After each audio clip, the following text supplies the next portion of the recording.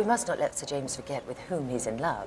A man so rich and foolish will not remain single long. Sir James is so far from having forgotten the Vernons. I'm sure he'd marry either of you in an instant. I must go back to Churchill.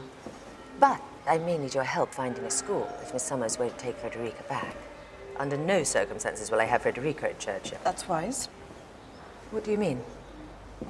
The nearness of their ages, her and Reginald's. Oh, how unkind. Forgive me. Forgiven. The fallacy of youth. Isn't it rather clear that it is we, women of decision, who hold the trumps? Lady Susan. Lady Susan Vernon. How dare you address me, sir? Lady Susan. Be gone, sir. I will have you whipped. Outrageous. Have you never met him? No, I know him well. I would never speak to a stranger like that.